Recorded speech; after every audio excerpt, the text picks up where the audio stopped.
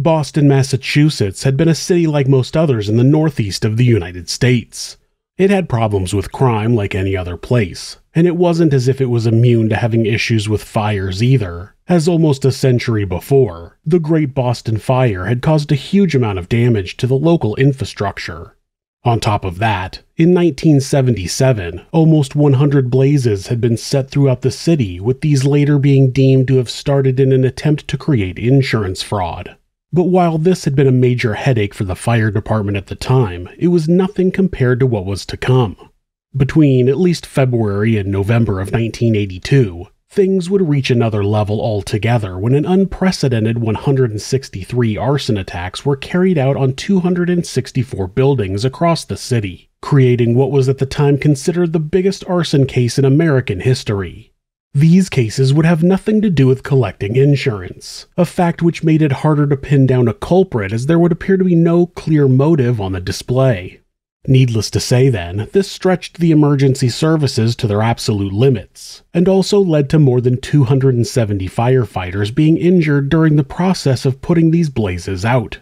So it must have felt like the ultimate betrayal for them when less than two years later, it was determined that the culprits behind the whole thing had been none other than a group of disgruntled coworkers. This is Monsters.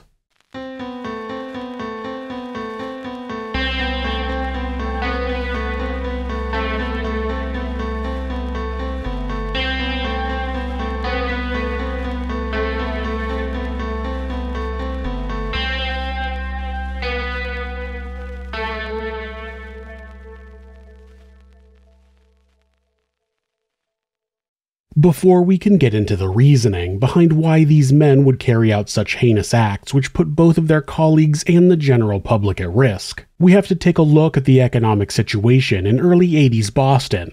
The presidential run of Jimmy Carter between 1977 and 1981 had been viewed by many on the right as being a failure, and this was largely a result of the fact that he was perceived by those on the Republican side as being weak and indecisive on important issues something that subsequently led to the economy beginning to stagnate.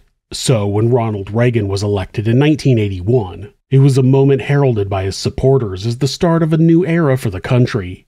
After all, with his notion of trickle down economics being one of his major platforms he was pushing while going across the election trail, those in the upper class felt like he was the man they needed to finally get things moving again.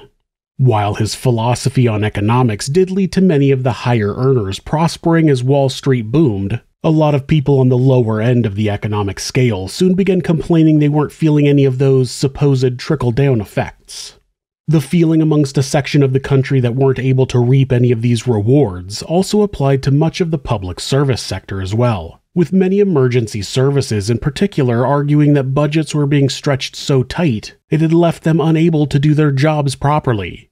That said, the turn of the decade was already making a period of difficult transition for the fire department in particular, as, with sweeping new technology changes altering the way they worked, and the looming threat of liability lawsuits now seeming to follow them at every turn, there was a lot of walking on eggshells as staff desperately tried to get to grips with new ways of doing things.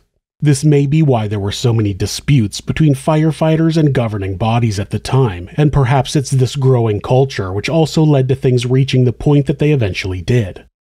It should be noted that, while these public service programs may have gotten worse under the Reagan administration, it didn't begin there. In 1980, a full year before he was elected, the citizens of Massachusetts had already voted to pass Proposition 2.5, a law which placed a 2.5% limit on the amount of revenue communities could raise through property taxes. As it was argued by proponents of the bill at the time, the passing of this law would allow for a more fiscally responsible government as it would be forced to act more efficiently when it came to spending taxpayer money. On top of that, it was believed that this new normal would give more voter control as to what was going on in terms of school funding, something many were happy at the prospect of. On the other side of the coin, however, there were also concerns that such a bill being passed would inevitably lead to problems such as a reduction in social welfare, difficulty in people finding jobs, and a wave of reduced funding all over the state. Unfortunately for public services in Massachusetts at the time, this flip side would prove to be true as once Proposition 2.5 passed, It ended up severely hampering what they were able to do on a day to day basis. What was the specific reason for this? Well, as the Massachusetts Department of Revenue put it at the time, the property tax as it had previously existed was the largest source of revenue for most cities and towns in Massachusetts, and as such was used to help fund a number of local services like schools and public safety.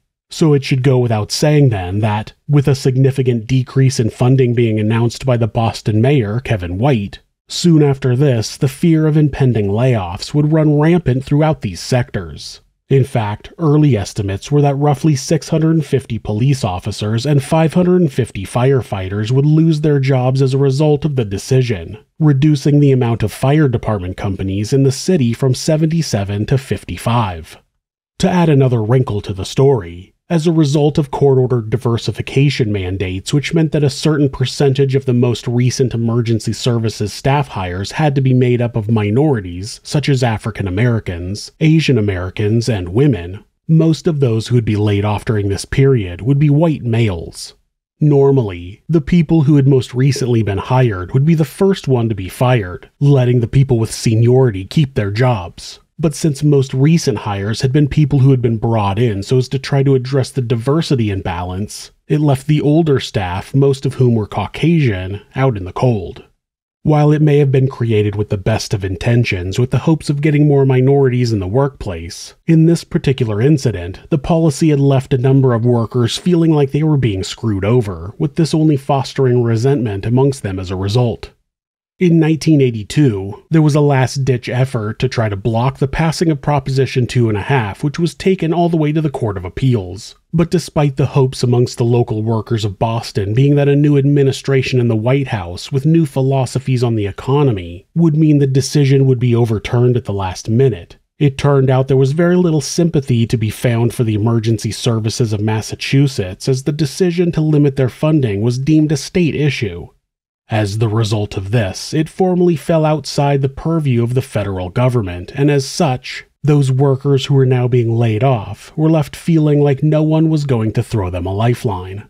In the end, a full 600 members of the Boston Fire Department would be let go as a direct result of Proposition 2.5, with this number making up over a third of the overall workforce and managing to exceed even the worst estimates which had previously been feared. That said, it wasn't as if nothing positive came from this appeal, because as a consequence of it, Massachusetts would quickly enact new legislation which was supposed to help alleviate the issues by providing the city of Boston with additional funding. And this funding was specifically to be used to not only reinstate any and all police officers who had been laid off during the prior fiscal crisis, but also to provide security against them being let go as a result of budget cuts again in the future.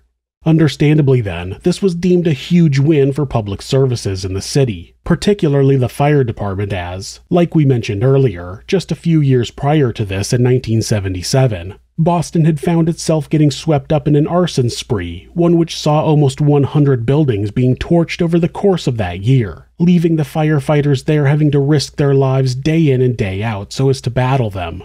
At this point, then, all they'd asked for in return was a little respect and recognition. Of course, any such respect had been thrown out the window in 1980 as far as they were concerned when Proposition 2.5 was passed. And even if those who had lost their jobs would eventually be offered them back as a result of new emergency funding, this would still take a while to get in place. So during the intervening time, a feeling began to develop amongst many of those who had been let go that this was only a means of temporarily placating them and that they were never going to get their jobs back at all. Why would they trust that the city had their welfare and best interests in mind, given what they had already done to them? Maybe what was needed them, some of them reasoned, was a wake up call. Sure, the fires of five years prior had been disastrous, but if even that wasn't enough to secure the jobs of emergency services without the need for last minute intervention, and if that last minute intervention may never actually come about as far as they were concerned, then perhaps an even bigger wave of arsons would grab people's attention. And we say people's attention here as we're not just referring to local politicians who passed the bill, but also the general public who voted it into action. The very public who the fire department had spent so much of their time and energy, not to mention risking their lives, to protect. So, starting in February of 1992, an increasing number of arson attacks would be reported throughout the city. But while Boston had already lived through a situation like this before, even it wasn't prepared for the full scope of how bad things would get here because, by the summer, so many fires had been reported. It was beginning to make the numbers from 1977 look tame by comparison. And despite the emergency services already having a number of staff brought back by this point, they were still struggling to keep up with the calls they were getting as, even if their numbers were due to continue to increase as more people returned. Budget cuts still meant that 22 of the fire departments across the city remained closed down and their supplies kept out of use.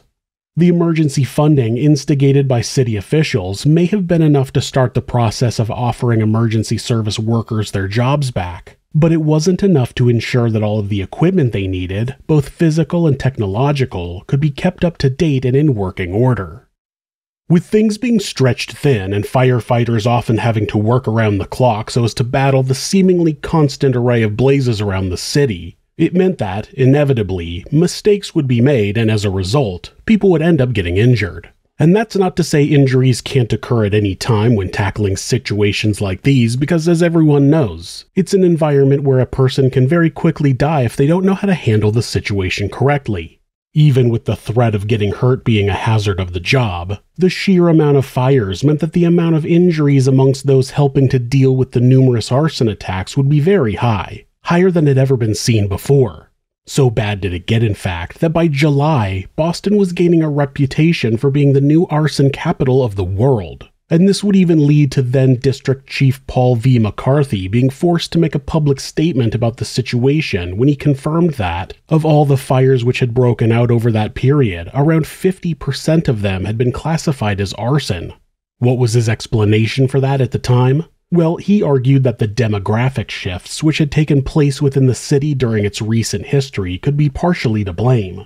After all, with a number of higher income families moving out to the suburbs and leaving their former homes behind, it had led to a lot of areas which were once thriving now becoming far more low income in their citizenry.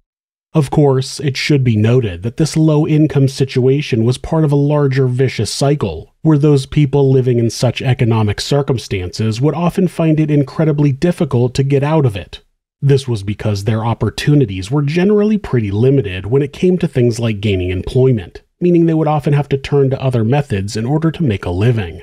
That was why so many living in areas like East Boston, South Boston, and Roxbury at the time had turned to crime to feed themselves. And it was also why the increased amount of arson attacks in these areas, particularly throughout 1982, were initially explained away by some as being a mere side effect of this. It didn't, however, do much to explain the fact that there were also clearly a number of arson attacks taking place in other parts of the city as well. But with everyone looking for a possible answer at that point, it's easy to see how they fell upon this as being a possible solution, even if it was a tenuous one. And as we know now, the rise in arsons at this point did have a lot to do with economic opportunities within the city during this period. It wasn't a result of low income families living in the area turning to crime and torching buildings. No, it was the very people who were supposed to be protecting them who were turning to crime. I'm sure that most of you listening to this know what arson is, but for those who are unclear, arson is, in a legal sense, defined as being an incident where a person without a lawful excuse decides to willfully and maliciously destroy or damage a property with fire. Basically, if you set fire to a building on purpose, then you're committing arson, and as such, in the eyes of the law, you're committing a pretty major crime. One of the most common reasons someone will commit arson is for insurance fraud. Like when a person owns a business which is struggling and they try to burn down their place of work as to claim the money back. Of course, this is only one example of why such an act might take place, and in other instances, it can also range from things like revenge against an enemy by trying to destroy their home to outright attempts at murder when there are people in the building at the time. When it came to the arson attacks that were taking place in Boston at this time, none of these explanations seemed to fit the situation, at least not on the face of things. While there could have been arguments made that some of the fires may have been related to insurance fraud, the vast majority were quickly ruled out when it came to this as the targeted sites were largely abandoned or disused buildings. As far as other higher profile targets which were hit, such as factories, warehouses, restaurants, and even churches in the local area, there was nothing discovered during the subsequent investigations to suggest there were any attempts at committing any type of fraud. So, with insurance fraud being ruled out as a primary motive, the next best potential reason appeared to be revenge. Unfortunately for investigators, though, while revenge or attempted murder against those who owned the properties in question couldn't be outright disproven in many cases, the sheer volume of the fires around the city made it unlikely that this would be the predominant reason. This left the investigators struggling to come up with a modus operandi for whoever the perpetrator of the crimes were, or even if this was the work of one organized group at all. After all, back in 1977, the rise in arson cases had not been the result of a single collective. It had just been a series of non connected cases which all happened to occur at around the same time. With this situation, though, even if there was no hard evidence to suggest there was a connection between all of the blazes which had taken place over the preceding months, many in law enforcement still had a nagging feeling that there was something different here and that there may indeed be a single group to blame.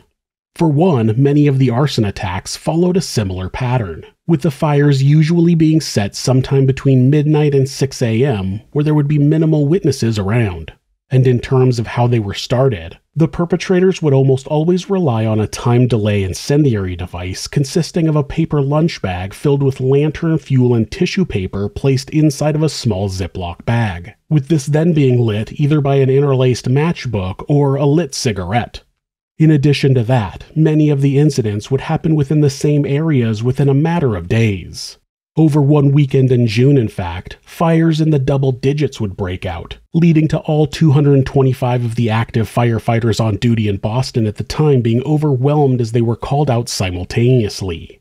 So bad did it get at this point, with a full 133 calls being made to the fire department over the course of one single night, help would have to be pulled in from fire departments in neighboring towns and cities, with a full 22 neighboring areas at one time sending an additional 31 companies in to assist with the fight. Combined with the fact that many of these same lower income areas kept getting hit, only further emphasized the need for something to be done before things got even further out of control. As then Deputy Fire Chief Joseph Claspy would put it himself when discussing the weekend the arson cases got to their worst, quote, it was terrible, the worst in the 31 years of my experience.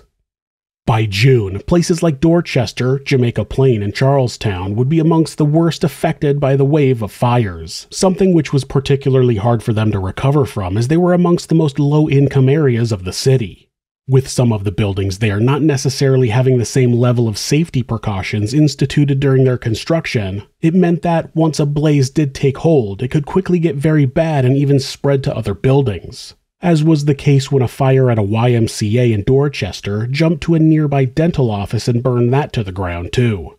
At least this dental office was closed at the time the flames spread there because, while most of the fires were started in empty or disused buildings, suggesting the criminals at hand weren't trying to actively injure anyone, others spread to occupied buildings and forced them to undergo emergency evacuations. This only made the problem that much worse as, by the time fall hit, it wasn't uncommon for every available unit to be out fighting fires at any given time, often being sent to blazes that were 9 alarm or worse.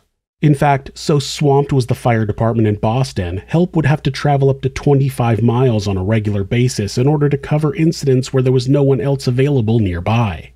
Of course, with this came the inevitable injuries that firefighters would suffer in the line of work, with the medical bills which came out of these, as well as the damage caused by the fires themselves, quickly racking up debts in the millions for the people of Boston. And we're not just talking about a couple of million dollars here either, because in one night alone, $700,000 worth of damage was caused, giving a sense of just how big of a problem this was becoming for the city of Boston and the state of Massachusetts. By the time it got to November, the total destruction which had been racked up would cost the city a staggering $22 million, with one fire at the Sparrow Toy Company on June 3rd creating $13 million worth of damage alone and ending with 31 firefighters being injured. Obviously, it became imperative that whoever was carrying out these attacks had to be stopped and stopped quickly. At this point, police were still stumped when it came to locating any clues which might guide them towards a suspect in the crimes. But who could blame them? After all, They were unable to do something as simple as carry out tests on the incendiary devices they'd found at the scenes of some of the fires, as the makeshift nature of the devices made them particularly hard to analyze for clues, especially after they'd inevitably been doused with water. Things seemed pretty bleak, and by now the citizens of Boston were beginning to worry about when they might be affected by one of the sea of fires going on every night. Luckily, the first real clue would come soon after this when an anonymous letter was sent to a local television station in Boston claiming to be from the arsonists themselves. As this letter would put it, the attacks were indeed being carried out by an organized group of people, and they were being done with the intention of holding the city ransom. What exactly was the ransom here? Well, it wasn't money, and it wasn't political influence. No, it was the reactivation of all firefighting and police equipment which had been put out to pasture during the budget cuts of the prior year, as well as a speedier timeline for all emergency service workers getting their jobs back. While many of the staff who were let go in each of these services had been offered their jobs back by this point, there were still a lot who hadn't. On top of that, as was mentioned earlier, even those who were back were struggling to do their jobs to the best of their abilities as they no longer had access to some of the equipment they had before. This must have been extremely frustrating for them, as all they wanted to do was to protect people. And in hindsight, it should have made it obvious that, based on the contents of the letter which had been sent out to the media, the whole thing was an inside job but with city officials perhaps being hesitant to believe this was the case, as they may not have wanted to deal with the inevitable blowback such a situation would bring about, they looked for other explanations in the meantime. This meant looking into the letter itself in more detail for any further clues it may have been holding. Investigators noted that it was addressed as being from a Mr. Flare, or, as he claimed the authorities already knew him, Friday Firebug. It was highly likely that this was a pseudonym, of course, but the police followed up on it anyway on the off chance it was an actual name. Unfortunately, though not surprisingly, it wouldn't match up with anyone in the city records, and they wouldn't be able to assess the handwriting either, as the whole thing had been made up with cutout letters from newspapers and magazines pasted onto a blank sheet of paper, like you'd see in the movies. On top of that, no fingerprints could be found on the letter, suggesting its creator was smart enough to wear gloves while making it.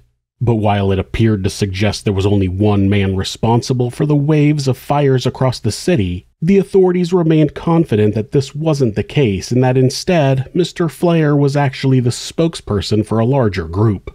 The idea that a single person could do so much damage in such a short span of time across an entire city without ever getting caught seemed implausible.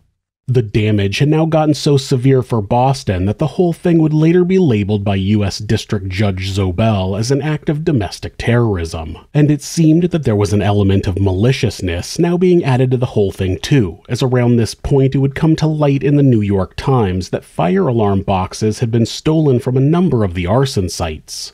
This meant that the fire department would often not be notified of there being an issue until it was far too late to save the building. It also indicated that whoever was doing this had, at least to some degree, knowledge of the processes behind fire notification. With things only getting worse and worse, it felt like eventually something had to give, and the situation would arguably reach its peak when, during a blaze which broke out at a disused military barracks on July 24th, the roof would collapse while the fire department were there battling the flames. That ended up leading to 22 members of the fire department being seriously injured as a result, with two of them suffering permanent disabilities after the fact. Unfortunately, that would only be another statistic to add to the pile at this point, because by then, almost 300 firefighters had been hurt since the arson started in February. Luckily, though, a breakthrough in the case would eventually come when, at one fire which took place not long after the barracks incident, a TV cameraman who was on the scene spotted something suspicious. It was a local cop named Robert Groblewski waving his gun in the air towards a number of his colleagues, almost as if in celebration. While this could have easily been put down to being a simple case of miscommunication, or of the cameraman reading more into an innocent action than was actually there, the authorities were so desperate for any morsel of a lead at this point that they followed up on it immediately. While Robert was now being treated as a suspect, there was no formal evidence they could use to arrest him for arson, meaning the investigators would have to bide their time and hope something presented itself. And luckily it would, when, upon discovery that Robert may have been involved in the theft of car parts, they were able to bring him in under these charges in the summer of 1984. People questioned the validity of the charge, but it gave the cops the excuse they needed to sit him down and begin questioning him. While they had their suspect in an interrogation room, they would also be able to press him for information he may or may not have regarding the wave of arson attacks which had gripped the city. Initially, Robert would deny any first hand knowledge of who was committing the crimes and argued that he certainly had nothing to do with it himself. After hours of questioning, he would eventually break and admit that, yes, he was part of a collective who had been starting fires all over Boston throughout 1982. As to who the others were in this group, he informed investigators that their ranks included Donald Stackpole, Greg Bemis, Wayne Sandin, Ray Norton Jr., Joseph Gorman, Leonard Kendall Jr., and Christopher Damon, all of whom either worked for the police or the fire department or were well known firebugs in the area, with this referring to people who liked to watch fires and collect firefighting memorabilia. With names now being named, there was nothing to stop Robert from explaining the reason why he and his cohorts had carried out the crimes. Unsurprisingly, it all centered on Proposition 2.5. At least in the case of the early fires, these had been started with the hopes that a rise in arson crimes would convince the state to bring back all the firefighters and police officers who had been laid off as part of the budget cuts. Of course, when this started to happen, however, they didn't stop. Why? Well, because they wanted more, and that included not only a faster return of all released workers, but also full funding to be returned to the emergency services allowing them to get back to the level they were at before Proposition 2.5 had been passed. And if that didn't work, the hope amongst the arsonists was that the wave of fires would simply scare the citizens of Boston so much they'd choose to vote for a change in the laws themselves. After all, it was them who were at risk the most, and if they didn't have the right public services to keep protecting them, then who knew how much worse things might eventually get? While it's easy to see the logic in there, as more emergencies would necessitate more emergency service workers being hired, the group who had committed themselves to starting fires all over Boston didn't seem to care about any of the collateral damage which came about as a result of this. No one was outright killed in any of these fires, and as they themselves would later state, they had made attempts to make sure the buildings they torched were empty ahead of time. By the point of their capture, Hundreds had been injured, in some cases very badly, and a lot of businesses had been hurt beyond repair when fires spread to their buildings and destroyed them too. Needless to say, despite them each feeling like they were doing it with the best of intentions, there was little sympathy to be had, either publicly or amongst their peers, once the whole thing leaked out to the media. At this point, more details about the crimes would become known to everyone, with it being revealed that all eight of the original group members had met at a private club within the city where firebugs were known to congregate and share stories. From there, they had come up with a plan to get Massachusetts to fund them fully again by starting a spree of arsons the likes of which had never been seen before. At first, they were cautious about this, not wanting to get caught before their goals could be achieved. So, with this in mind, they started off relatively small, using their work gear to access an abandoned building in late 1981 without suspicion, then setting a fire to the building using a homemade incendiary device they had dubbed La Bomba.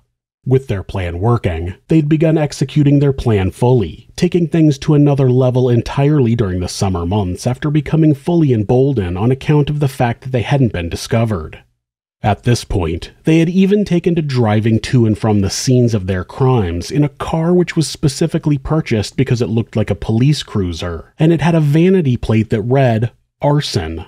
If that seems a little brazen, it wasn't, because as far as they were concerned, it made them look like officials investigating the situation to any casual passerby. And their care to not get caught wouldn't end there, because, as Robert Groblewski would later go on to state, the group had also been responsible for starting blazes in nine surrounding cities and towns, too, all in the hopes that this might throw any investigators off their trail. They still couldn't help themselves from occasionally enjoying their own handiwork, though.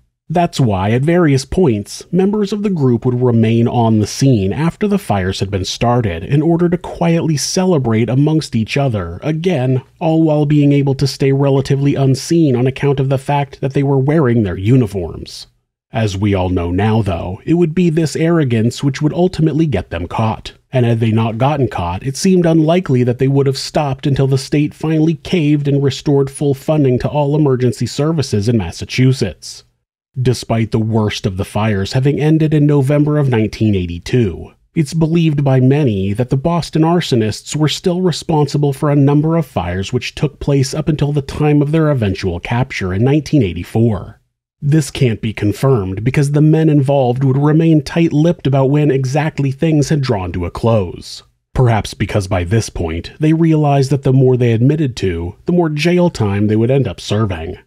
Even if they didn't want to reveal any more, by now investigators had all the evidence required to arrest them. So soon after this, an 83 count federal indictment would be thrown down at the nine men involved, with this being described by the New York Times as the largest single arson case in history, state or federal, in terms of the number of fires involved. This meant that, due to the magnitude of the crimes and the anger from the public remaining palatable, there was little hope that any of them were going to get out of this one without a long prison sentence. A number of them would plead not guilty at first, but this was to be expected, and it was largely assumed that they would eventually be found culpable before things were all said and done. Of course, in order to make sure they didn't try to flee before they could have their day in court, those amongst the nine who were deemed to be the highest flight risks were held without bail, with these individuals including Donald Stackpole, Greg Bemis, and Wayne Sandin. On top of that, Ray Norton's bail would be set at a staggering $50,000, a high amount for the time, with Joseph Gorman still being high overall but lower in the total of 25,000. Clearly, it was assumed by the courts that the likelihood was that these men would attempt to run if they had the chance, as they were all too aware of the evidence against them. And with this evidence ready and waiting to be presented to the court, once the trial began, most believed that everything that needed to be uncovered had already been uncovered and that things wouldn't go on for too long. But while the trial was relatively short, that wasn't to say there weren't more revelations to come out. In fact, in direct contradiction to the Robin Hood like nature the arsonists portrayed themselves as having, forcing the hands of those in power to act on behalf of the downtrodden and unemployed, things weren't quite as cut and dry as that.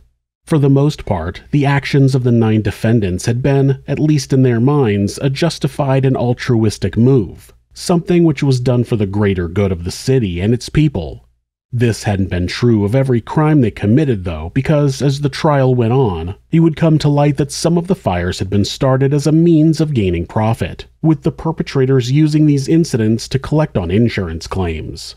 On top of that, there were examples of fires being started by the group which appeared to have been done for no other reason than to gain revenge over someone who had gotten on their bad side in the past. Take, for example, one incident where the Boston Sparks Association was torched. As it would later come out in court, the reason this had been done had nothing to do with getting support for firefighters. No, it had been carried out because two members of the arson ring had previously been denied membership there. Another building, which was owned by the client of a security company two of the arsonists worked for, would also be targeted specifically. Though in this particular incident, the motive wouldn't be revenge, but distraction, as it was hoped that this would rule them out as being potential suspects if they had a vested interest in the place not being burned to the ground. Of course, these examples don't necessarily negate what they saw as the positive aspects of their fight, but it does go to show that, even within this misguided ethos, the rot had already started to set in as they were slipping in less noble attacks here and there, perhaps in the hopes that these would be swept up and forgotten in the larger conversation they were hoping to create. Had they been able to go on for longer without getting caught, it's likely this rot would have only infested things more. After all, a firebug member of their ranks, Donald Stackpole, would reveal during his trial that he never had any real interest in committing acts of moral protest when he joined up with the group and that he had lied about his intentions in order to get a foot in the door with them. As far as he was concerned, firefighters and cops were overpaid and underworked and didn't deserve the status of heroes to the public they had bestowed upon them. So for him, being involved in the arsons was merely a way of harassing the emergency services and making their lives a living hell for as long as possible. When his associates realized that they had a wolf amongst them the entire time, it gave some of them pause for thought as they began to reassess what they'd been doing. And perhaps this was what led to many of them starting to divulge more information as the trial went on. Even if they were more open to cooperating with the courts at this point, it didn't do much to soften the punishment which was ultimately coming their way because by then they'd already managed to add further crimes to the pile. Earlier in the trial, a number of the defendants had allegedly tried to obstruct the course of justice by threatening potential witnesses and even attempting to destroy evidence. In fact, at one point, Stephen E. Higgins, the director of the Federal Bureau of Alcohol, Tobacco, and Firearms, and the man who was leading the prosecution's investigation, would claim that his life was threatened. This, combined with the sheer scale of what had occurred across Boston during the prior few years, would lead to him labeling the case the most frightening and bizarre criminal conspiracy he'd ever seen. This is a man who had dealt with crime on the highest scale in the past, so for him to look at this case as being the one which struck fear into his heart the most, it goes a long way towards describing just how badly these arsons had scarred the city. It would take a long time for the people there to get over what had happened as, even with the perpetrators now on trial, there was still a sense that things could easily go wrong and that the fires could start up all over again at any point if any copycats decided to pick up the baton wanting to put the whole thing in the past as quickly as possible in order to let the healing begin. The prosecution got to work convincing the jury that the nine men involved were indeed guilty of the various charges set against them.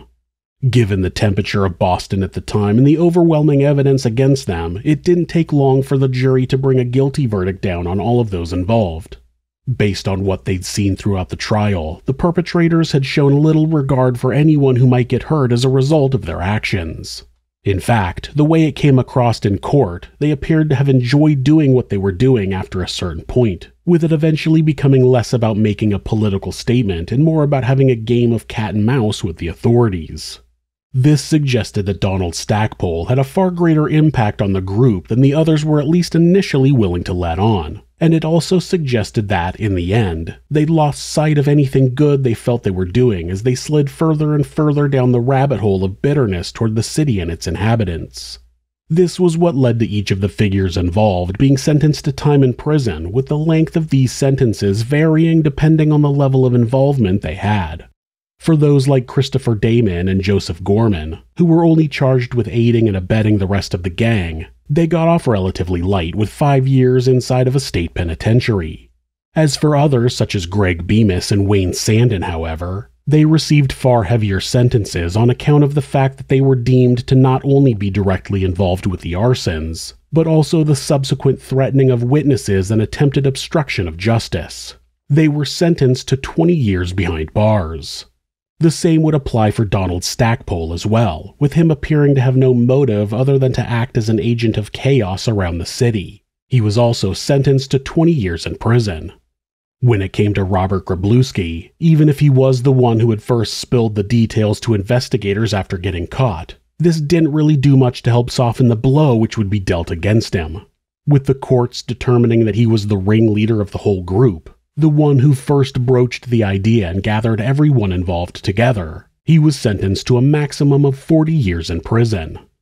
While this would mark the end of the Boston arson spree, it would take a long time for things to recover fully as, even if the men involved were now behind bars, the panic and fear would remain for a while.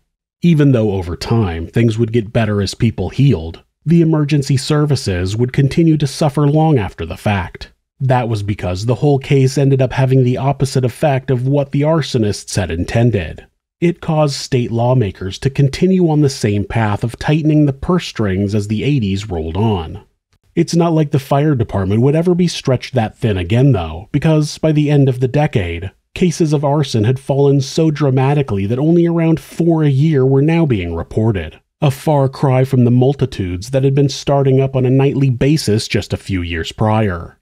If any of the citizens of Massachusetts were worried that something like this might happen again, they needn't be, at least according to a former ATF special agent who worked on the case back then, As he argued, the rise in cell phones, GPS, and surveillance cameras would make such an eventuality highly unlikely in this day and age.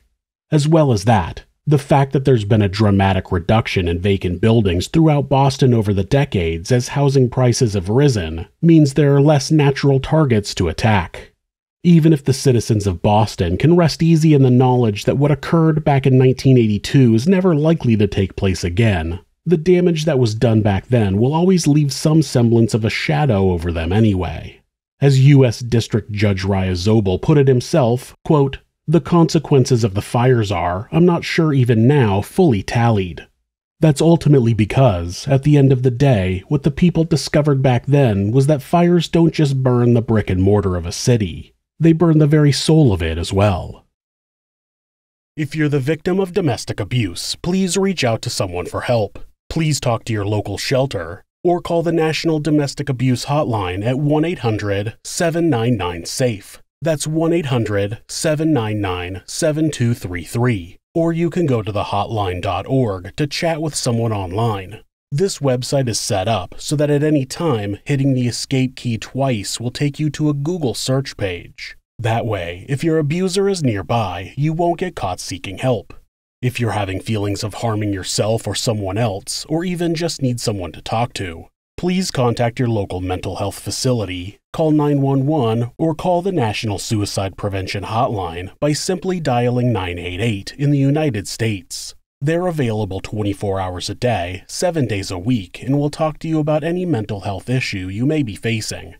Thanks so much for letting me tell you this story. If you enjoyed it, subscribe on whatever platform you're on, hit like, rate us, or leave us a comment. You can also check out our other show, Somewhere Sinister, on YouTube or anywhere that you listen to podcasts. If you'd like to support the show, check out our new merch at Teespring. The link is in the description. Thanks again, and be safe.